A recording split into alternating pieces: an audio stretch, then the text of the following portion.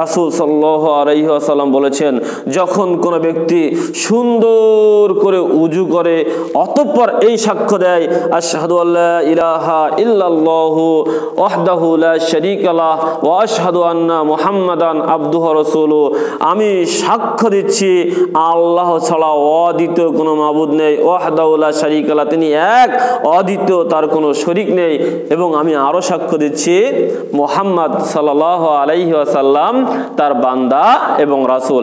এই কথা সাক্ষ্য যদি আপনি প্রদান করেন, আমাদের রাসুল সাল্লাম বলেছেন, জান্নাত একটি দরজা আটটি, জান্নাত একটি দরজা আটটি। যে ব্যক্তি উদু শেষে এ বলল, আল্লাহ রব্বুল আলমিন তার জন্য জান্নাতের আটটি দরজাই খুলে দিবেন। সে যে কোনো ইচ্ছা দিয়ে জান্নাতে প্রবেশ করতে পারবে সোহান আল্লাহ যে কোনো দরজা দিয়ে সে জান্নাতে প্রবেশ করতে পারবে সোহান আল্লাহ তাহলে উজুর শেষে আপনি সামান্য একটা দোয়া বললেন, সামান্য একটি দোয়া বললেন, একটু শাহাদা বাক্য পাঠ করলেন, আর এতে করে আপনার জন্য আল্লাহর জান্নাতের আটটি দরজাই খুলে গেল সোহান আল্লাহ অথচ আমরা এটা করি না। আবার আমরা এখানে একটা ভ্রান্ত আকিদা পোষণ করি যে আমাদেরকে উজু শেষে এই শাহাদাত আঙ্গুল উঁচু করতে হবে, আকাশের দিকে তাকাতে হবে, অনেকেই আবার বলে লাইলাতুল কদর পড়তে হবে, এগুলো সব ভিত্তিহীন কথা, এর কোনো প্রমাণ পবিত্র করার এবং সেই হাদিস দ্বারা প্রমাণিত হয়নি। আপনি শাহাদা বাক্য পাঠ করলেই আপনার জন্য জান্নাতের আটটি দরজা খুলে যাবে, এটা রাসুল সাল্লাহ আলাইহি আসাল্লাম বলেছেন। ওমর রাজা আল্লাহ তালা বর্ণনা করেছেন সম্মানিত উপস্থিতি।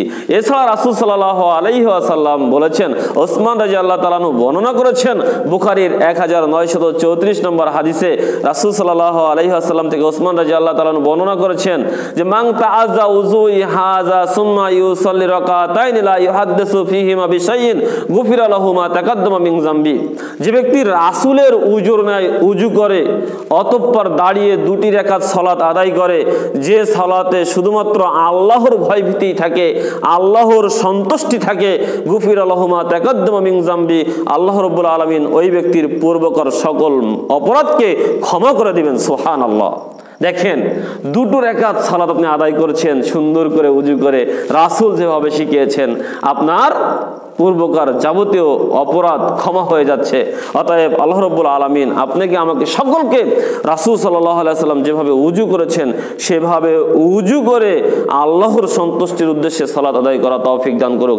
আমরা যেন সলাৎ শেষে শাহাদাত বাক্য, আশহাদু আল্লাহ ইলাহা ইল্লাল্লাহ ওয়াহদাউল্লাহ আন্না মুহাম্মাদান আবদুহু রাসূলু এই শাহাদা বাক্য পাঠ করতে পারি। আল্লাহ রব্বুল আলমিন আপনাকে আমাকে সে তৌফিক দান করুক। সকলে বলি, আল্লাহুম্মা আমিন।